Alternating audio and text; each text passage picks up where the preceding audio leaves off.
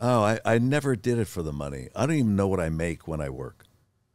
I honestly Well, don't. I'll just tell you, this podcast, we're paying you shit, nothing. Did you not know that? No, I think didn't we know still have a Taco Bell um, but it gift card in the back. It doesn't. If Oh, you oh, wow, oh, that's that's something. Mm-hmm. I don't know. I I m- my But you, but you are a, a responsible husband and father, Yes, I am. and homeowner. So you would uh, to No, say no to work, regardless of how much it was. If somebody's offering you, you knew that you were getting paid steadily. Right. But if by if you were on a network show for 7 years and you haven't saved enough money to sustain you for quite a while, you're spending too much.